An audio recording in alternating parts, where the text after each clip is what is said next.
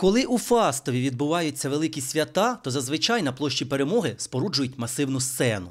І щоразу в організаторів виникає проблема, звідки брати необхідну електроенергію, щоб її вистачило і для освітлення сценічних підмостків, і для безперебійної роботи звукової апаратури. Як правило, існувало і дотепер існує два варіанти розв'язку цієї дилеми. Необхідні кіловати, приміром, видобували з власних електрогенераторів, як це було під час останнього святкування Дня Незалежності. Тоді помічник нардепа Руслана Сольвара Василь Сулима привіз свій енергогенеруючий пристрій. Воно до електростанцію ну, привіз е, з роботи, зняв, привіз сюди. В інших випадках тягнули кабель від місцевого палацу культури, як це відбувалося, зокрема, 10 днів тому, коли місто відзначало свою 626-ту річницю.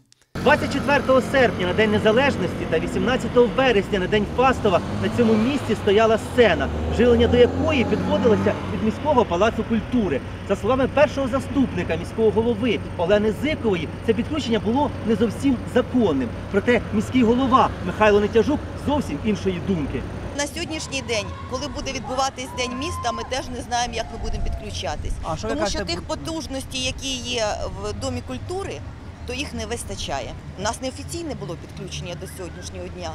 І РЕС нам заборонило це робити. Споживання електроенергії від Фастівського палацу культури воно є законним. Тож, як бачимо, у перших осіб міста діаметрально протилежні думки стосовно того, чи порушується техніка безпеки при таких підключеннях, і чи взагалі подібні дії мають законний характер.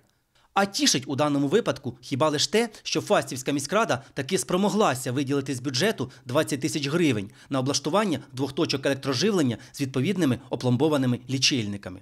Один з цих пунктів планують встановити на площі Перемоги, інший в парку Гагаріна. І сподіваємося, що розпочату справу доведуть до кінця, а також віримо, що стосовно доцільності їх встановлення двох думок уже не буде. Сергій Сіроманець, Богдан Сова. Достовірно.